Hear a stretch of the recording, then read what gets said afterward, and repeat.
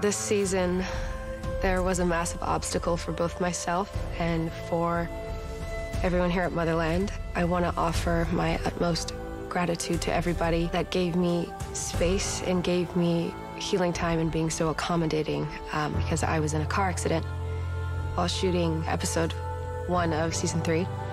Um, and it really put a wrench in everything. No! No! What's happening? What's going on?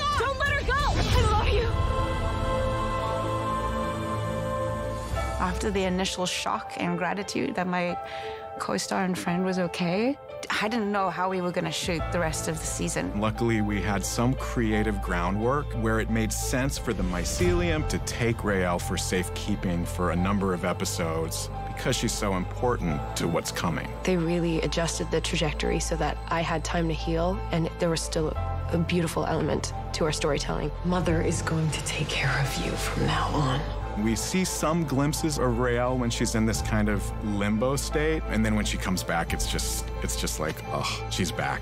I felt like I was whole again. We started this together. We should end it together. I think Raelle at the end of season three shows a lot more selflessness. She knows that her purpose calls her far greater than anything she can fathom that is tangible to her. But the beginning, when you first meet Raelle, she's quite bratty. I'm Tally Craven, and this is Abigail Bellwether. Onward to glory, soldiers. Rah, rah, rah. Sounds like a poster. I actually found her quite hard to like, so there was a bit of dissonance as, as, as, to how I would approach a new situation and meeting new people. And she, at first, applies resistance. She's quite reserved. She's quite angry. She felt she didn't really have anything to fight for at all.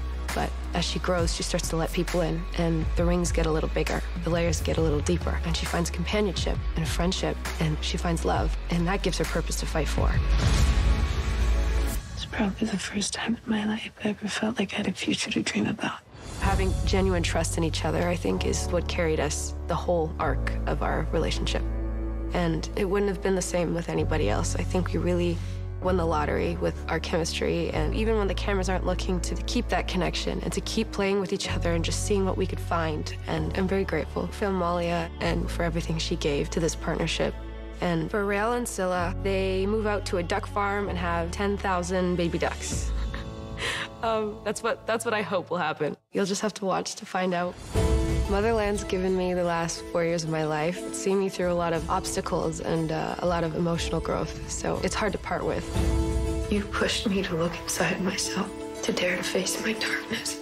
I don't know how well I'd be doing if I didn't step into this career or this show. A lot of our audience members have, have given me my only sense of consistency. It gave me purpose. So, selfishly, thank you.